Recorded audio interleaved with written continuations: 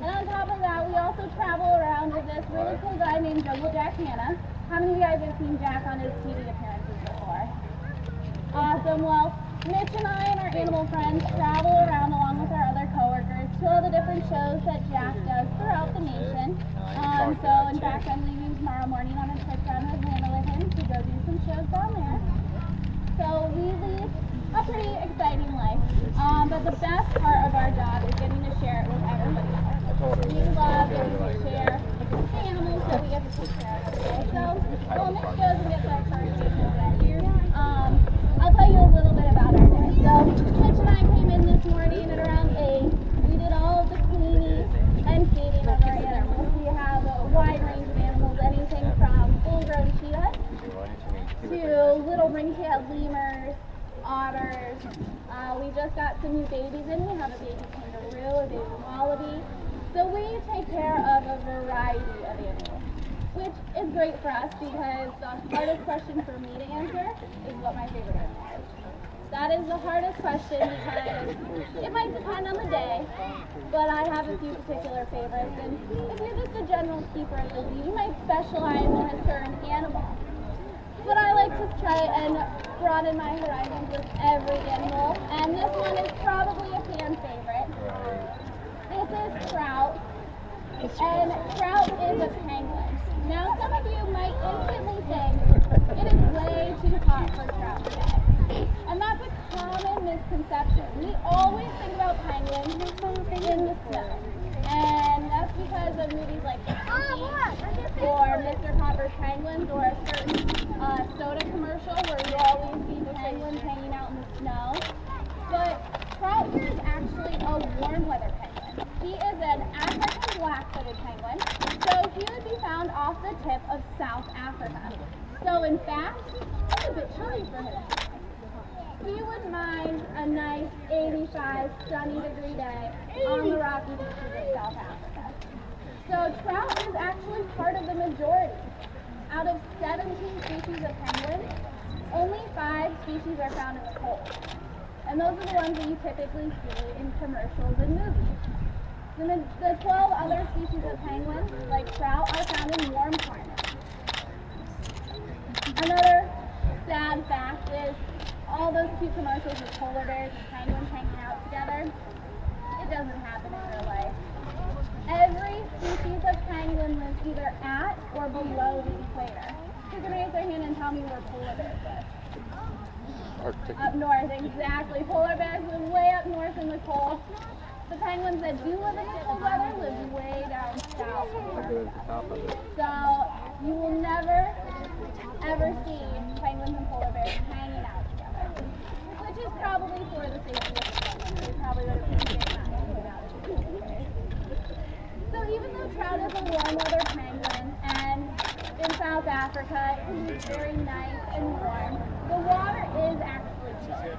So while trout would be hanging out on the rocky coastline of South Africa, uh, basking in the sun, when trout goes to jump into the water, it's a bit chilly.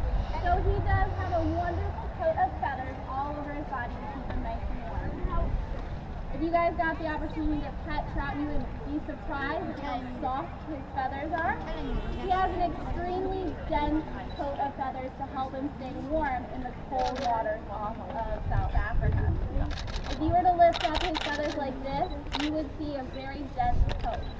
You imagine about a quarter of an inch, and for kids that's about the size of a circle that you can make with your hand. In one quarter of an inch, Trout has 70 feathers jam-packed into that one tiny area. So those, that dense coat of feathers helps him stay nice and warm in the cooler waters. But they are feathers. They, he is a bird, despite his inability to fly in the air. He does have a beak and feathers that do classify him as a bird. Now his feathers are a lot different than a bird that would be flying through the air. His feathers are built for the water. So right now, Trout's nice and dry. He's done swimming. He went swimming this morning in his pool with his friends. But he's all dry. And they have the ability to dry off very quickly because their feathers are somewhat like a wet Right down here at the base of his tail, he has a nice oil gland, and he'll rub his beak through that oil gland and rub the oil all over his body.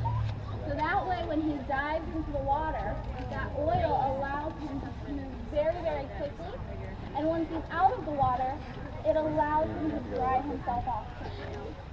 How many of you guys, when you go swimming in the summer, if you jump in the pool, it feels great, but when you have to get out and go run to your towel if there's a breeze, it can be really chilly when you're still soaking wet. So having the ability to dry off very quickly is a great tool for penguins. You can see he has tons of other tools on his body or what we like to call adaptations, that help him for a life in the water. You can see his beautiful flippers.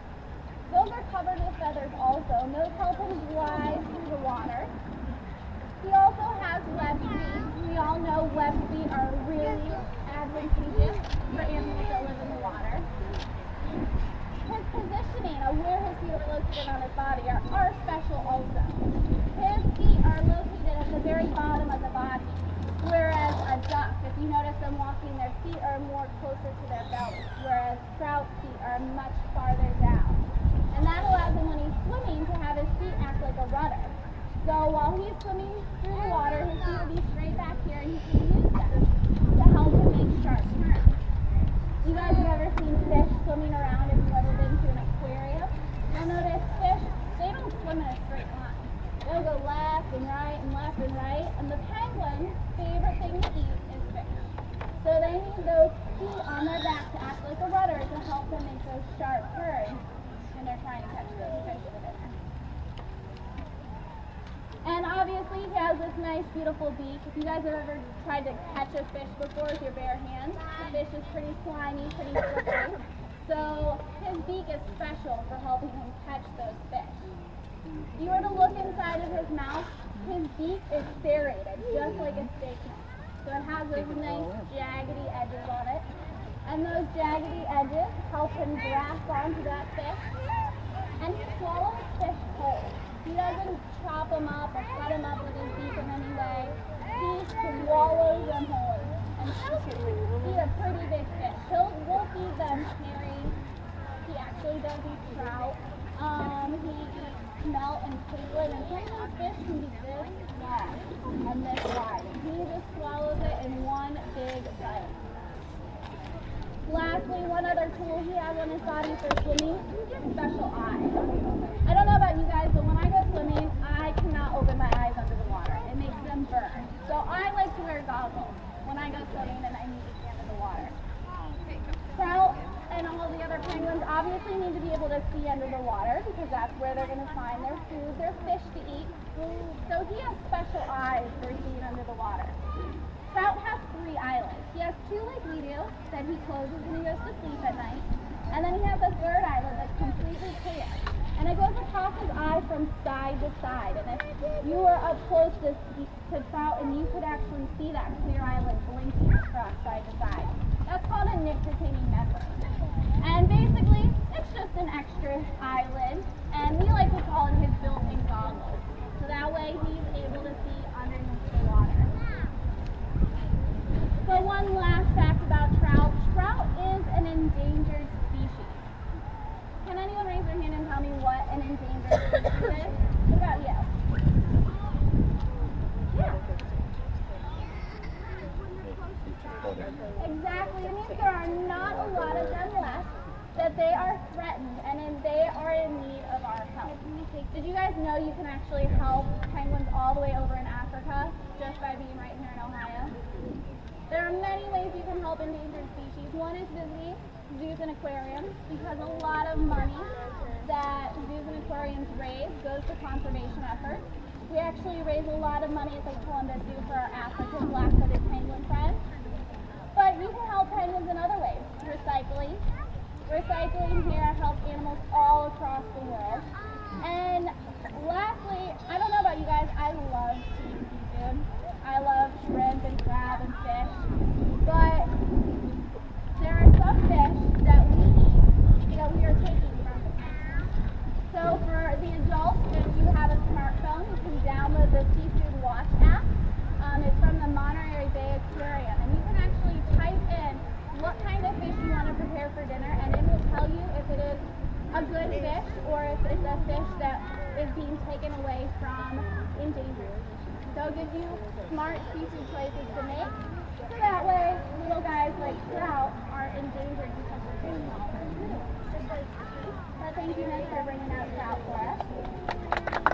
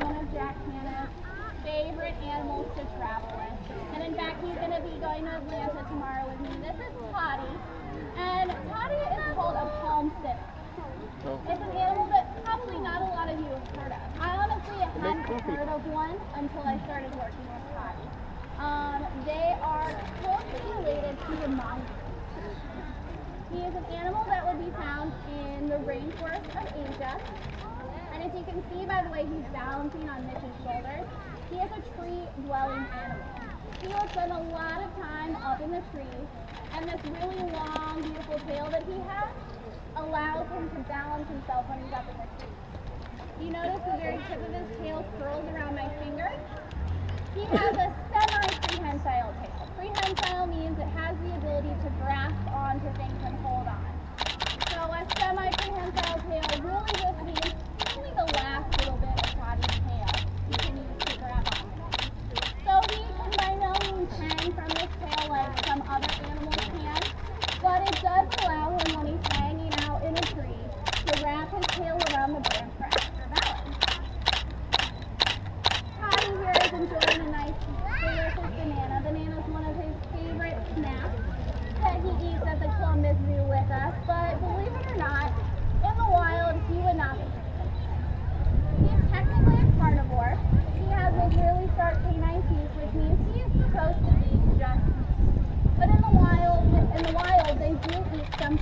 now.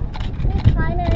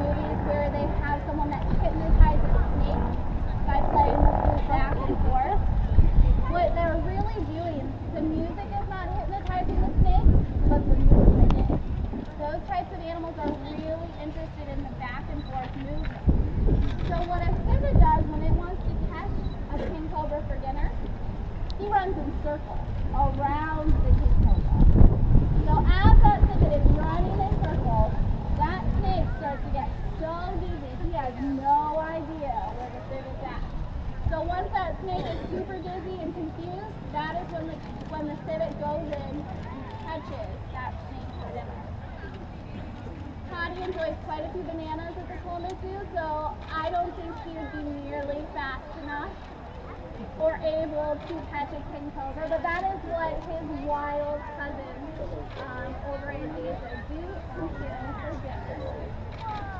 You can also see that Toddy has nice big eyes. He's an nocturnal animal, so he sleeps all oh, day long in his nice little bucket. He loves soft, fuzzy blankets. Uh, he usually cocoons himself in them, and then when we go home at night, that's when Toddy comes out to play. You can imagine. He's probably not one of the most fun ones to have in your hotel room while you're traveling. Because you've had a long day of doing shows and taking care of the animals, and all you want to do is go to bed. Potty. Now don't get me wrong, when we are in the hotel rooms, we are supervising playtime, so none of the animals are ever out running around while we're sleeping. So Toddy, his schedule is somewhat adjusted to ours. Uh, you know, he's awake right now. As soon as Mitch goes and puts him home, he's gonna curl right back up in his blanket and go back to sleep until the morning comes. But Toddy is one of Jack's favorite. If you guys have ever seen um, Jack Hanna, if you've ever Googled him and looked at the, the Google image search, you'll on his shoulders when Jack received his first Emmy Award. Uh, Jack accepted his first Emmy Award with Toddy on his shoulders, so he's a pretty popular guy. And he's really unique because, in general, we know of no other civets that are handleable like Toddy. He truly is one in a million because they are typically a very ferocious animal. But Toddy's just extremely special to us. He everybody, his favorite thing is to go on trips and travel and meet lots of different people. But one last fact about Mr. Toddy, you probably have heard of something called Kopi Luwak coffee. Have you guys ever seen the movie The Bucket List? In the movie The Bucket List, they talk about this Kopi Luwak coffee that costs hundreds and hundreds and thousands of dollars.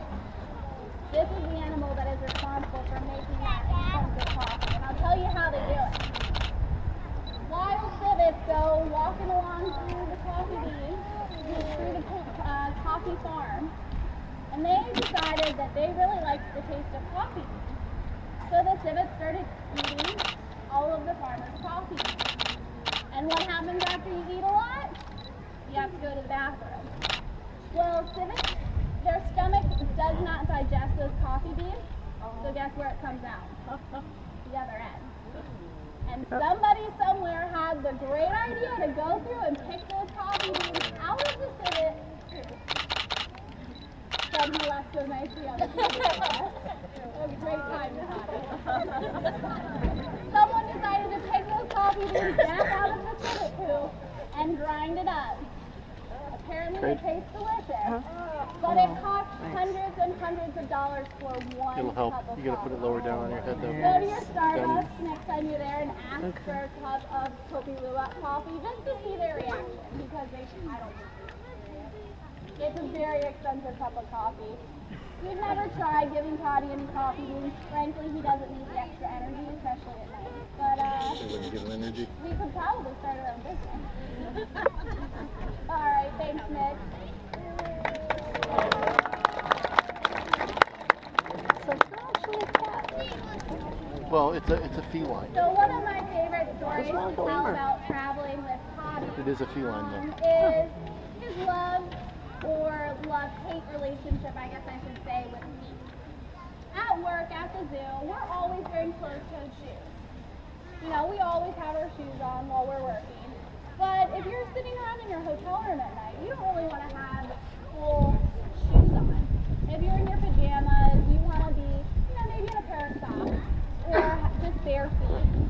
Well, if you think about it, Toddy normally doesn't get to see feet or socks. So for whatever reason, Toddy loves to chase your feet or your socks. I don't know if it's because he loves them or because he hates them, but you typically have to be very cautious when you're walking around your hotel room at night if Toddy's out exercising because he will run around and chase your feet. And he will run and jump and he rarely, rarely bites, but when he does, it's typically just him putting his mouth on you and not doing anything. So he'll put his mouth on your feet and just sit there. Pop something. So it's a very funny story to tell. I'm not exactly sure whether he loves it or hates it, but you always have to be cautious when you're walking around your hotel room with Toddy. Don't have any any shoes on. Well, our next animal doesn't move very quickly. This is Leo, and Leo is an African leopard sport. you can see his nice, beautiful shell has nice, beautiful black spots on it. That looks just like the spots on a leopard. So that's how they get the name the African leopard tortoise. He would be found out in the grasslands of Africa, and the spot pattern actually helps him camouflage. If he's hanging out in the tall grasses, there are spaces in between those grasses. So animals with spots live in grassland savanna areas. Those black spots help break up the pattern so they can camouflage into those grasses. Now Leo here is a young leopard tortoise. He's roughly 8 to 10 years old. But this is the fourth largest tortoise species in the world. So Leo here is easily going to reach 80 pounds one day. The Galapagos tortoise, the Aldabra tortoise, and the Sulcata tortoise are the only three types of species that get bigger than the leopard tortoise. So he can outlive us as well. He's very, very young in comparison to how long the life they can really have. An eight-year-old tortoise, you know, he's easily gonna outlive Mitch and myself. These tortoises can easily live a comparable lifespan to that of a human. You know, they can reach 80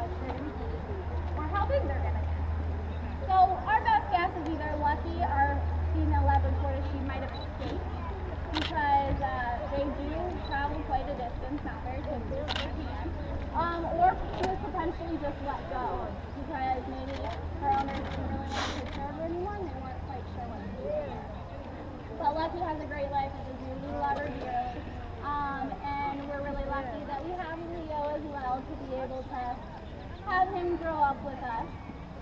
But turtles and tortoises, you might wonder, how do you tell the difference? It's, you know, it can be confusing.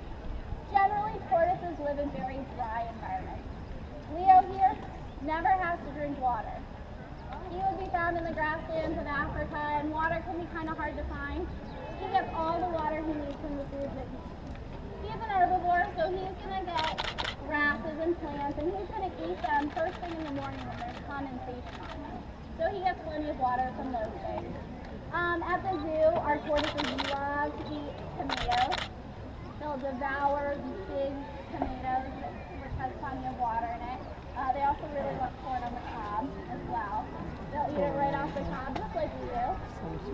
Um, but so tortoises generally don't have to live in an area with a lot of water, whereas turtles, they don't necessarily, they aren't necessarily always found in the water, but they are good swimmers and typically have to live near a water source.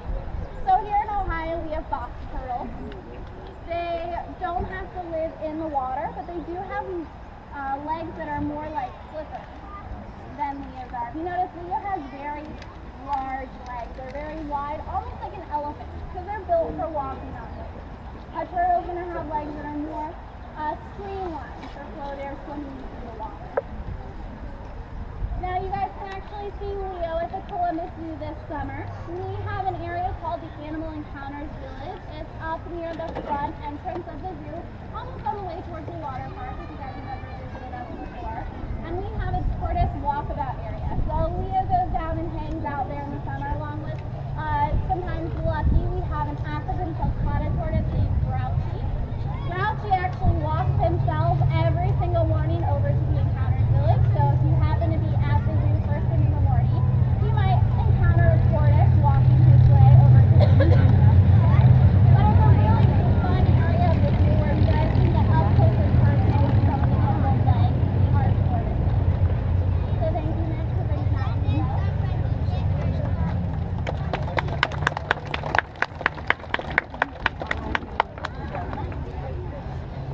So that beautiful shell that Leo has for protection, a fun fact that you guys might not know about it, turtles and tortoises can feel everything that touches their shell. You guys feel your fingernails? Your fingernails made up of something called keratin.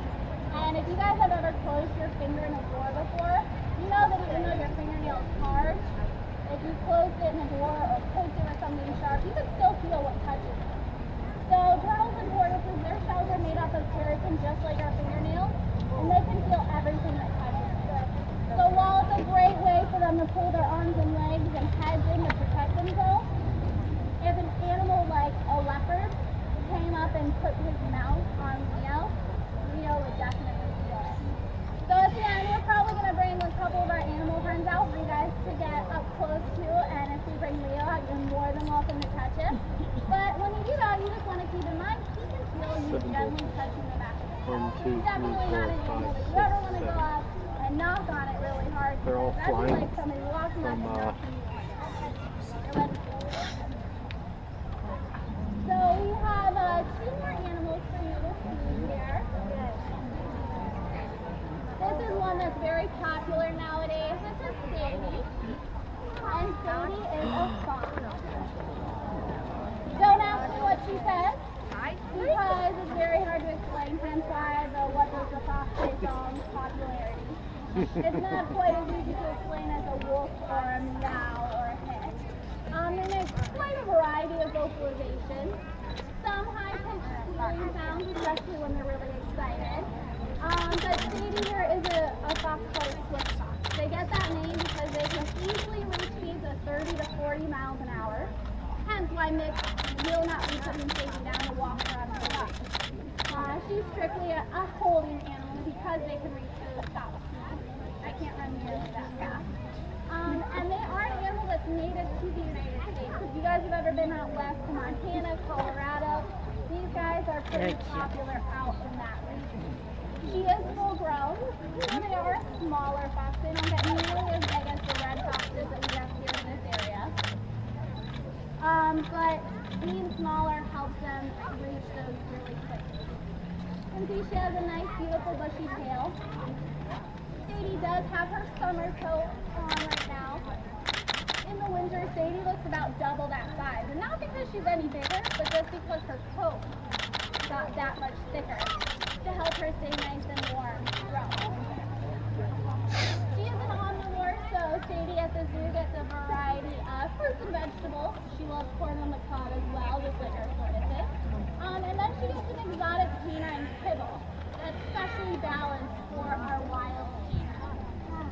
You know, in the wild, they would eat. Uh, unfortunately, they're pretty good at catching people's chickens out west.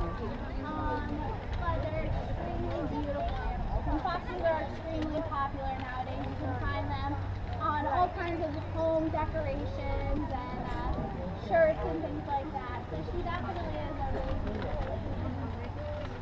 So thank you, Mitch, for bringing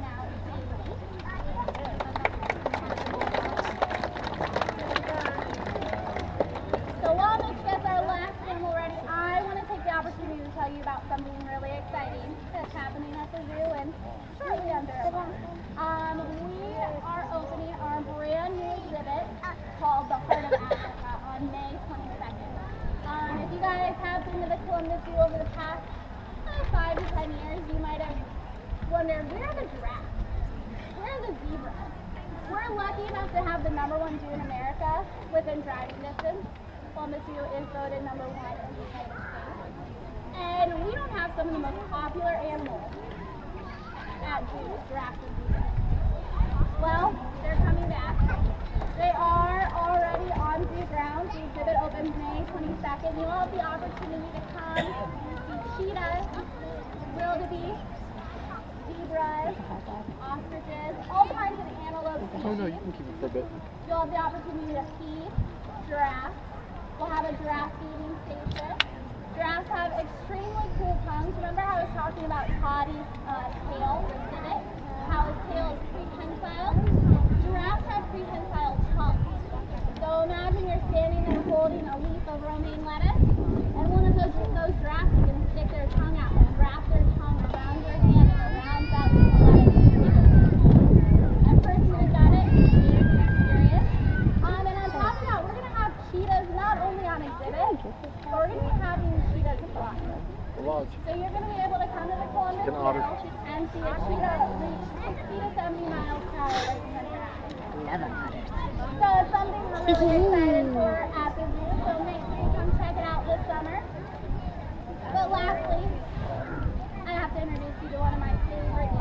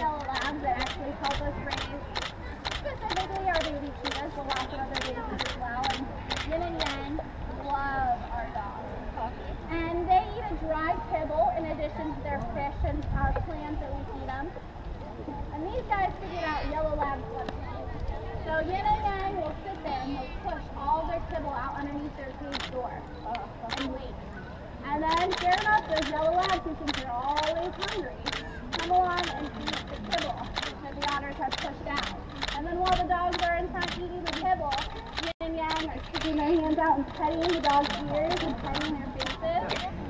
So they're very dexterous. They love to their others. Hmm? They're rotten little buggers. But they have a, some special tools on their body, just like the penguin, to help them swim in the water. The web feet, their tail is flat and acts like a rudder when they're swimming around in the water. And they have very special fur. They actually have two coats of fur to help them stay nice. And they have a very oily texture to their fur. They eat a lot of fish, um, but that oil that goes all over their fur helps them dry off very quickly, just like the penguin when they get out of the water. Lastly, uh, this is a very vocal species of otter. If we had his brother Yin, I wouldn't even have to tell you that. You would know. Because Yin, his brother, is always, always, always talking. It's always high pitched. Very, just like that, yeah. It's very here, very especially in small rooms like a van. Um, and they have anywhere from 12 to 24 votes.